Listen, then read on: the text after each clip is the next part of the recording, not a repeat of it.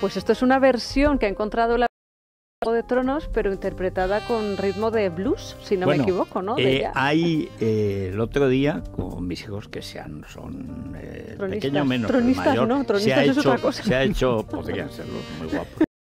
Eh, pero se ha hecho muy fan y este, estas vacaciones a escondidas de mi mujer y mi hijo pequeño nos quedamos por la mañana a ver la cuarta temporada que no la había visto él nos veíamos tres y cuatro episodios seguidos.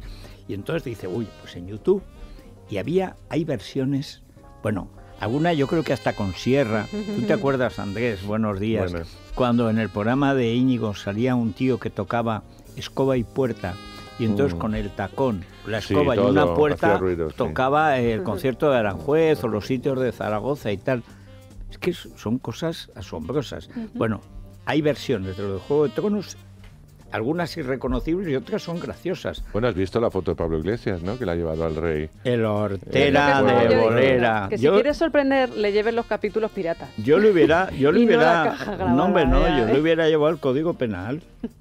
¿Verdad? Claro, hombre, no, no digo del rey.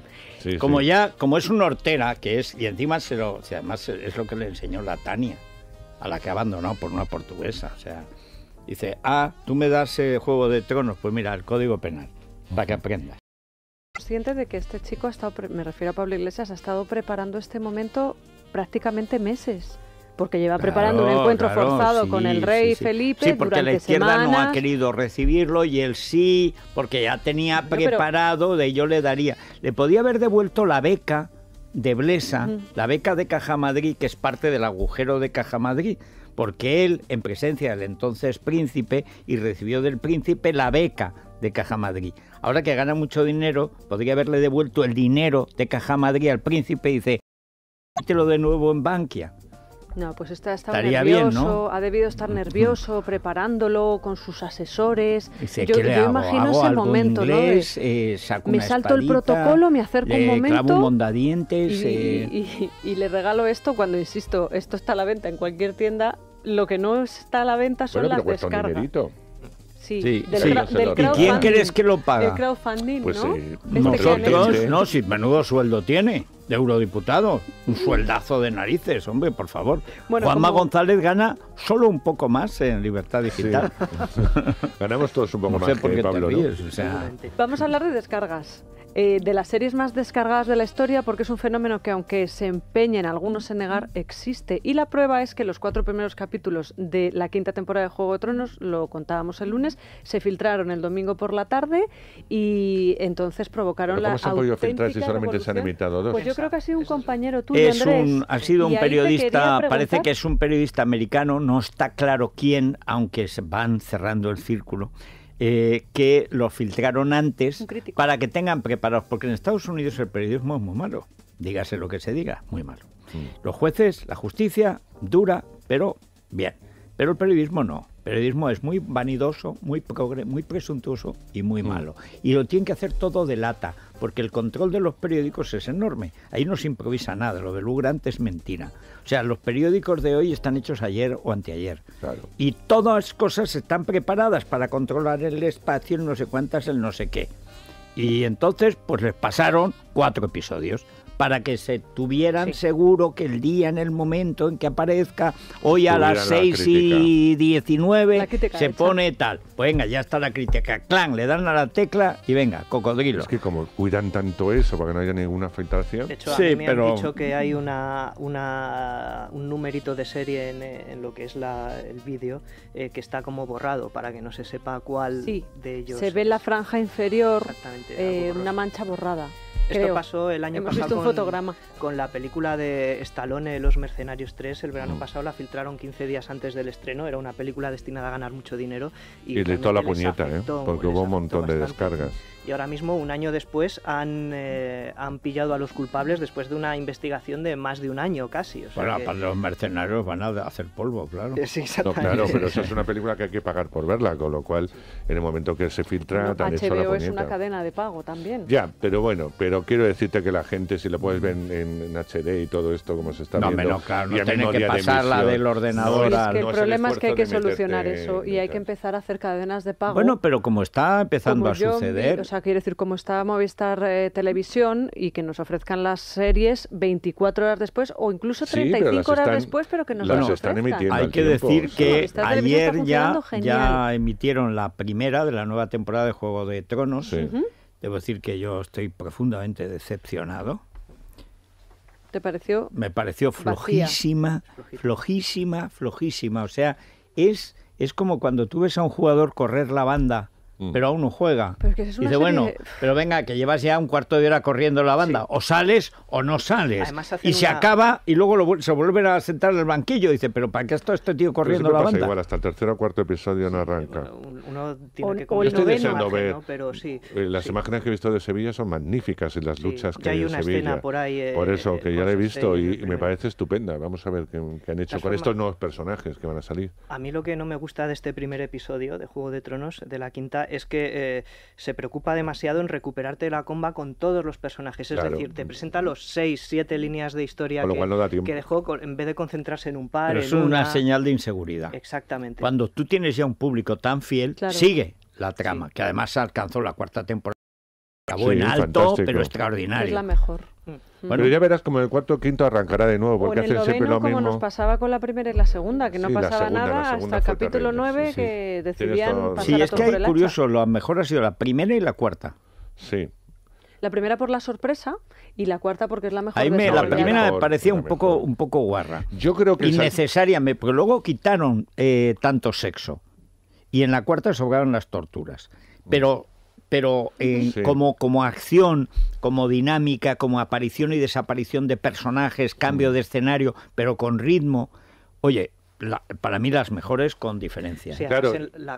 No, no, no, no, no, que yo solamente quiero decir que, que yo creo que es la que más se acercan al libro, a las adaptaciones del libro, y yo creo que el error, y si no lo vamos a ver con el tiempo, es saltarse todas las tramas, matar a todos los personajes que les dé la gana y hacer otra cosa distinta a lo que el autor en un principio creó, que luego ya empieza en esta, se va a saltar todas las tramas argumentales. Y a mí me parece un error, porque si el autor tiene pensado en todos sus libros cómo van a acabar, por dónde van a ir los personajes, saltarse todo eso y dejarlo colgado para al final hacer otra cosa paralela a los libros. Pero hay un problema, es, que, es que no confían, ya no confían en el autor. Y se ve. Y esto es un problema cuando tienes toda esa superproducción en marcha. No, y todo ese fenómeno. Es más, yo cuando veo a Martín, pero si es un candidato al infarto. O sea, yo no he visto a nadie con un aspecto tan poco saludable en mi vida. O sea. Sí, pero no es Harry Potter, que tenías que hacer lo que dijera J.K. Rowling. Están empezando a improvisar. No, pero si el problema de él es que está mayor, gordo, aburrido y ya tú notas que está aburrido. Y que quiere controlar HBO los guiones, como es lógico. Pero hombre, es que ahora ya. Ahora es una estrella. Pero, oye, ¿por qué se venden los libros de Martin? Hombre, por la serie. Sí, pero debería haber. también, pero bueno, tuvo un fenómeno de libros. Tendría que haber un al menos una conversación con el autor de qué personajes se pueden cargar, por dónde van a ir sus tramas sucesivas, que yo creo que le queda un par de libros nada más a él. él dice que uno, pero hay un problema de falta de confianza que se ve que se ve. Esto es un problema de falta de confianza. Incluso él, cuando adelanta el relato este de Salaine, ¿no? Llega a Sansa mm. Stark, que es, una ternera que detesto, pero bueno. Es la estrella. Pero es, pero es sustituyendo el libro, sustituyendo el libro que tenía que sacar ahora, libro del que podían haber, del que podían haberse divertido, digamos, escogiendo tramas los guionistas. El problema es que les está, les está faltando autor. Sí. Y por claro, eso te digo, por, eso, pues hacen, y el primer eh, tramo pues es calentar la banda, pero no tirar a la puerta, no jugar, realmente no han saltado al campo. el año que viene van a tener un problema muy gordo. Pero muy, muy, muy, gordo. Entre una serie más o una serie especial y empiezan a, Bueno, vamos a ver qué pasa. Vamos a, una película que nos Una película fantástica, para mí la mejor película de esta semana y de, semanas anteriores y semanas posteriores. Se llama La fiesta de despedida. La verdad es que bueno, se, eh, se proyectaba en el pasado Festival de Cine Internacional de, Valladolid la Seminci, pues a mí como que me daba mucha pereza, porque el tema de residencia, ancianos con Alzheimer, eh, mm, también la eutanasia, en fin, todo eso como que me tiraba mucho para atrás. Eh, lo que me sorprendía es que lo hicieran desde el punto de vista judío, porque la película es judía, está eh, producida por judíos e interpretada por judíos, y además, eh, bueno, es una producción alta que, que en su país había tenido un éxito tremendo. Bueno, pues fuimos con pereza, pero había que verla. La sorpresa saltó desde el primer minuto de la película. Es un guion tan brillante, tan divertido, o sea, ¿cómo uno se puede reír de la muerte? Pues te ríes. ¿Cómo uno se puede... Exacto. ¿Cómo te puedes reír de, cuando eres mayor y tal? También. Además, la inteligencia de esta gente es hacer una cosa muy local, pero muy internacional. Es verdad que está rodado en Israel, pero podría haber estado rodado en Inglaterra, en Dinamarca o en España. Es decir, la residencia es una residencia de lujo donde conviven una serie de de ancianos que cada uno tiene su problemática, que se van a unir en un momento dado, pues que allí no está permitida la, eutanasia, pero hay gente que no quiere seguir viviendo y ellos se encargan de matarlos, y, es muy divertida. O sea, es decir, ¿cómo te ríes de todo eso? Pues con talento. La película sorprendentemente eh, gustó tanto al público y a la crítica que el jurado se entusiasmó también con ella y se llevó la espiga de oro, es decir, todo el mundo. Y luego las dos actrices que son muy conocidas, parece ser de series y tal israelíes, eh, muy conocidas en el panorama allí, se llevaron execuo el premio de interpretación porque estaban maravillosas. Se lo quitaron a Marion Cotilla, que estaba fantástica también. Pero es que ellas no se puede estar mejor. Con lo cual nos vamos a encontrar una que el boca oreja pueda hacer que todo el mundo vaya a verla. Es una película de verdad que yo no, en Valladolid son muy secos, como son en mi tierra, y es muy difícil arrancarle aplausos, ¿eh? las cosas como son. Bueno, pues el pase de prensa fueron casi ocho minutos de aplausos y creo que el pase de público, que yo ya no asistí, eh, la gente se puso en pie con la película, eh, que, bueno, que estaban los directores allí y cuando salieron se pusieron todo el público del Calderón eh, en pie, una ciudad como Valladolid es complicado. Eso, eso vamos. Y, además viniendo los judíos, o sea, nosotros judíos pero, nos aplauden en Valladolid. De verdad que podían ser judíos. Luego los directores, que es un hombre y una mujer, son divertidísimos, porque hay una pareja gay de ancianos que uno de ellos con 80 años todavía no ha salido del armario, pero bueno, es una cuestión... Eh, pero es evidente. Pero que es muy divertida, ¿no? Y, y todo ese lado, uno el director el, tal, es gay también, y entonces explicaba un poco, pues bueno, cómo él en sus distintas generaciones había visto ese proceso. Es decir, es una película muy divertida, muy emocionante, porque hay secuencias emocionantes, pero saben pasar de la emoción a, lo que es la carcajada, porque en el principio ya el primer minuto te estás te estás riendo de todo hasta llegar a un final realmente espléndido. Es decir, pocas veces ves una película tan redonda como la fiesta de despedida. Pues iremos a verlo. Así que no, de verdad que en cuanto tengas oportunidad, Federico, te va a entusiasmar. Muy bien. Pues eh, mm. vamos a hacer una pausa, recordemos Movistar TV. Sí, toda la programación que tienen preparada para nosotros, por ejemplo, esta noche a las 20.45, a las 8.45 de la tarde, los partidos de ida de los cuartos de final de la Champions League. No sé qué me gusta más, si pensar que el PSG le puede ganar al Barça, o el Oporto al Bayern. Mm. Estás ahí, ¿no? Voy a estar cambiando de canal, sí. Bueno, pues también puedes hacer una cosa, optar por ver bajo demanda la película Mr. Turner eh, en la sección de estrenos de cine. Mm. Y luego un poquito más tarde, a nosotros ahí nos va a pillar dormidos, pero es cierto que hay mucha gente que a esa hora les encanta ver un documental para ir preparando el sueño. En Canal Plus 1, en el Dial 75, Gabo, la magia de lo real. Sí, yo me dormiría, sin duda. El realismo mágico gusta mucho, ya lo sabes. Sí, sí, pues yo no, no, yo me quedo frito, o sea... Bueno, eh, una pausa y vamos con las grandes descargas, las series más descargadas de todos los tiempos.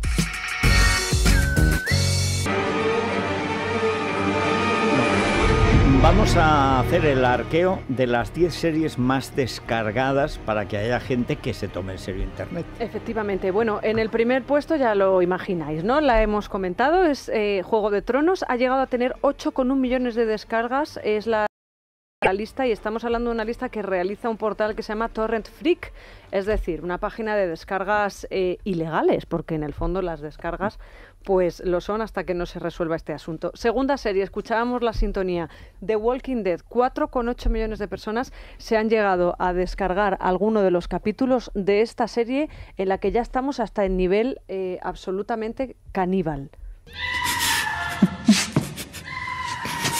No debimos poner los carteles. ¿Qué creíamos que iba a pasar? Les hemos atraído. Para todos los gustos no es. Tercera, The Big Bang Theory. a mí no. Yo tampoco, no la vi, pero es que tampoco veo cómo conocía vuestra madre, que es la cuarta en este ah. ranking realizado por esta página. La quinta, Gotham. Aquí hemos visto algulos capítulos. Sí, yo la vi gente lo que no gustan los superhéroes. No, lo vi y lo dejé, digo, vale. Lo dejaste, y lo dejé.